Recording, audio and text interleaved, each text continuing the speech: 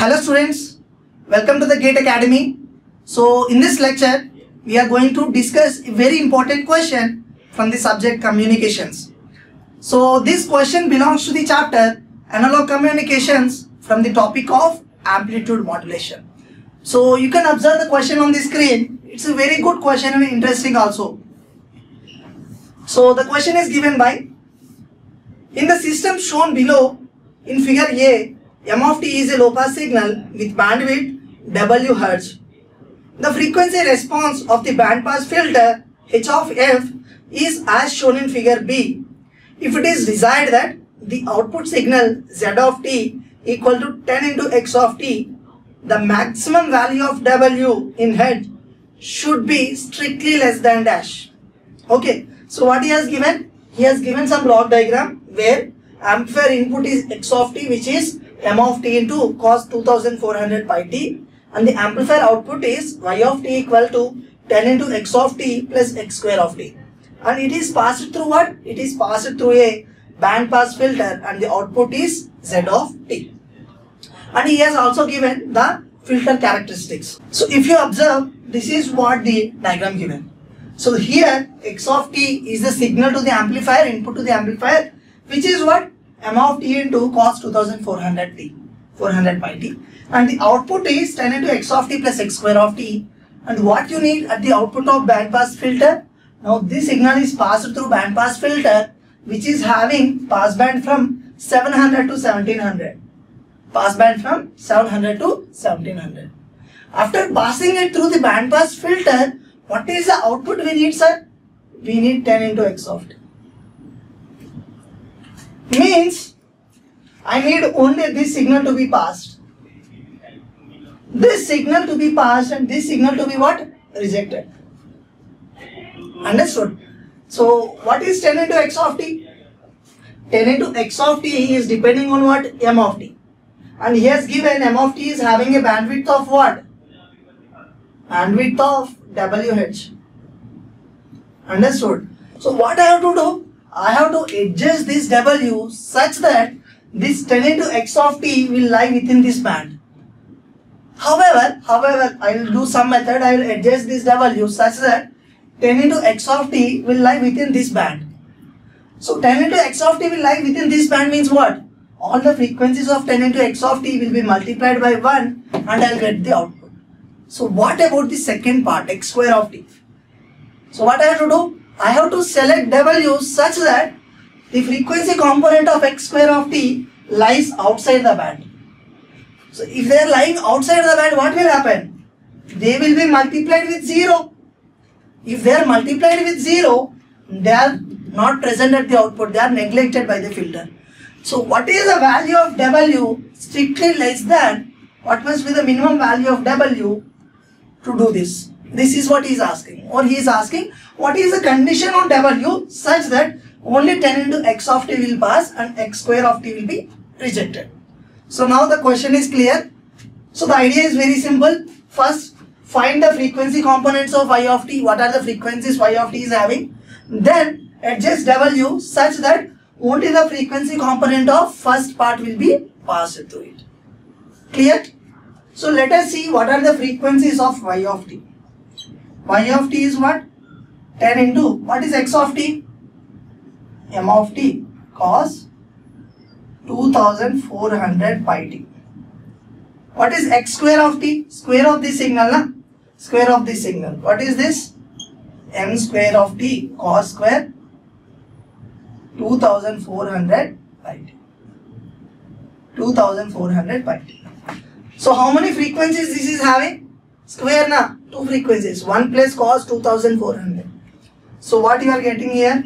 10 into m of t into cos 2400 pi t plus this is nothing but what cos square theta 1 plus cos 2 theta by 2 if you multiply it what you are getting m square of t by 2 plus 1 by 2 m of t cos 2 theta na what you are getting here cos 4800 pi. Understood?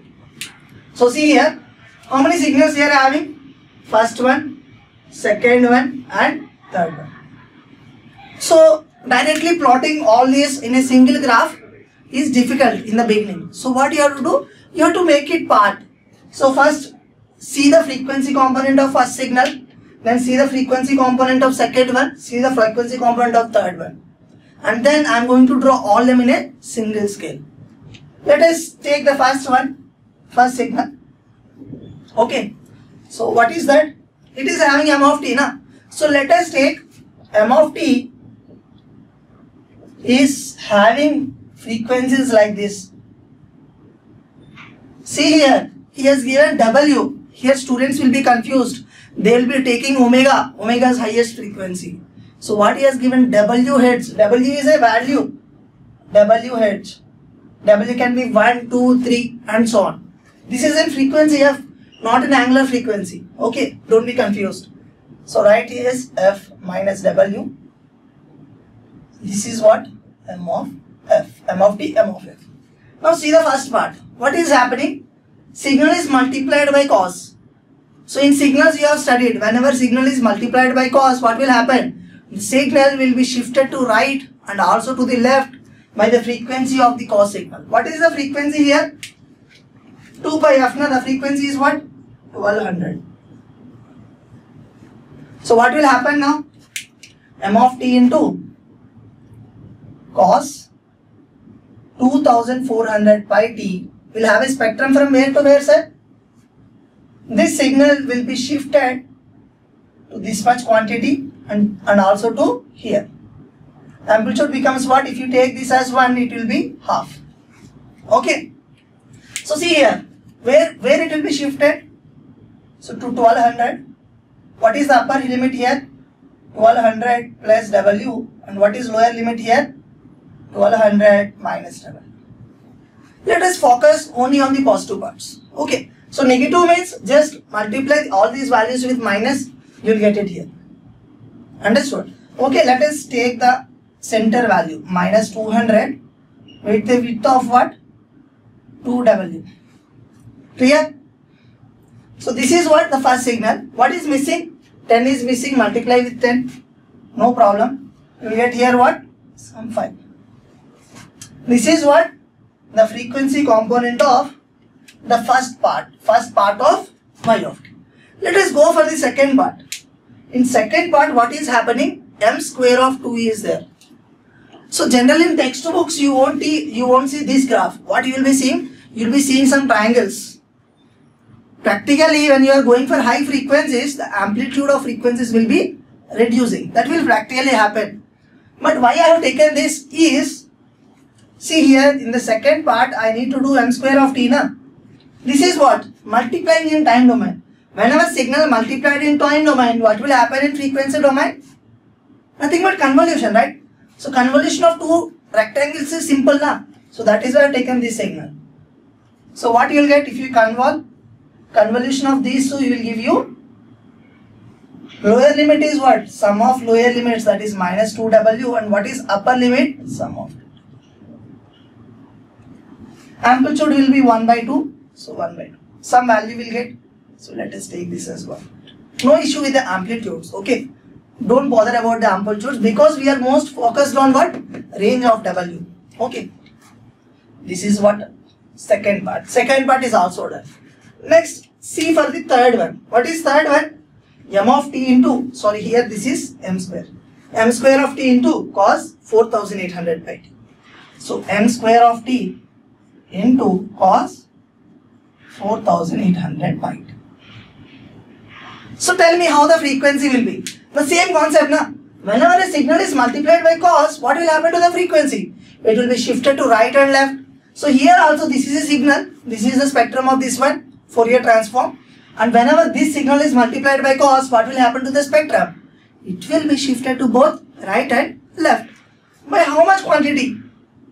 By the frequency of what? By the frequency of the cos. What is the frequency of cos here? 2400 Hertz. So the same signal is shifted to right and shifted to left also. So here you will be getting and here also you will be getting. Here what is the value you are getting? 2400. What is the value you are getting here? Minus 2400. Amplitude becomes half, okay. So let us take 1 by 4, no issues. So this is what? So see here, this signal shifted to left. What is the width here? 4W, na? It is the base, 4W. See here, 2400. So I'll write it like this. 2400 minus 2W and here you will be getting 2400 plus 2W. This is also frequency domain. This is also what? Independent variable is frequency. Now you got all these values. So now our duty is what? To plot them in a single scale. When you plot them in a single scale, what you can do? You can design the W, you can select the value of W such that first signal is passed. We need only first signal, na? 10 into x of t is nothing but 10 into m of t cost. First signal is passed and these two are rejected. Okay. So till now we have done that. So what is this here? See this is h of f. This is what frequency components of these three signals. So let us first identify what are the various frequency components. So this is what frequency of the first signal. This is what frequency of second signal and this is what frequency of third signal. So how I have placed them? I have placed them in such a way that all these band are lying inside this pass band. And all the second and third term were what? Lying outside the pass band. Understood? So I have selected it like this. And I have selected it like this. Sorry. I have selected it like this. This signal is lying in the pass band such that the first signal is our interest na 10 into x of t. It is passed. Second and third I don't need. That is why what I have done. I placed it otherwise. So now let us see what is the value of W. These are not constant now. Now we have to check the value of W. So to reject the second signal, second signal must be what? Rejected. What is the condition? Second signal rejected means 2W must be what? Less than 700. So 2W must be less than 700. That implies W will be what? Less than 350. Understood? So what is the first condition to be passed? Generally students will start from with this. First one must be passed. So what must be there? 1200 minus W must lie within. It must be what? It must be greater than 700, right? So greater than 700. That implies W must be less than 500. So for first signal to pass, this 1200 plus W, lower limit is okay. 1200 plus W must be what? Must lie within this pass band. Na? So it must be less than 1700 which is nothing but 1200 plus W is less than what? 1700. So by this condition also what is the W you are getting? W must be less than 500. And what about the third one? The third signal must be rejected. Na? The third signal must be rejected. So how it will be rejected? If this value is lying outside the band. That is 2400 minus 2W is greater than what? Is greater than 1700. Then what you are getting? So that is 700. So 2W must be less than what? So 3 plus 4, 700. That implies W must be what? W must be less than 350. So to get output of 10 into x of t, what is the condition on W? The W must be less than 350, less than 500, less than 350. What is the strictly followable case of W? If these three are followed, then you're able to get 10 into x of t. What is the minimum value? W must be less than 350.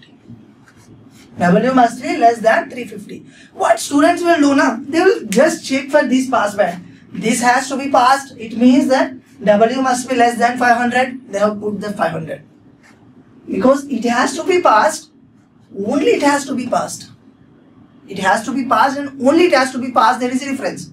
Understood? So it has to be passed, only it has to be passed. It means that these two must be rejected. When these two are rejected, sir? These two are rejected when W is less than 350. Understood? The, the strictly minimum value of W is what? Is 350.